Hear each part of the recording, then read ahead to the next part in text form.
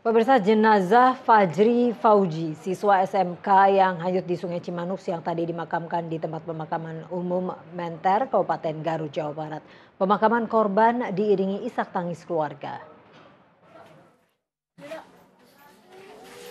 Jenazah Fajri Fauzi dimakamkan di rumahnya di Kampung Gandasari, Desa Mangku Rakyat, Garut, Jawa Barat keluarga membacakan doa untuk mengiringi kepergian korban. Setelah disemayamkan, jenazah langsung dibawa ke TPU Menter. Isak tangis keluarga tak terbendung saat jenazah akan dimakamkan.